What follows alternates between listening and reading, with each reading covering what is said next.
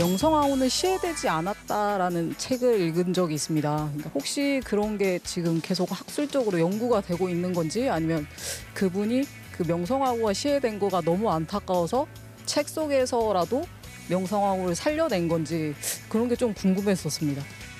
그 제가 일단 그 책을 어, 읽지 못해서 뭐라고 거기에 대해서 평을 할 수는 없을 것 같은데 명성황후가 시해된 것은 당시 서양 외국 공사들에 의해서 증언이 된 부분이고요. 어, 실제 팩트고 사실이에요.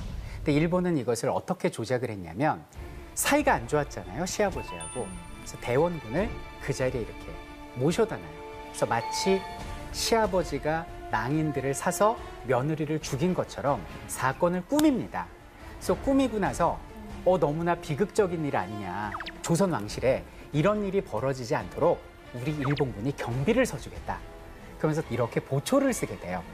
그럼 고종 입장에선 얼마나 기가 막혀요.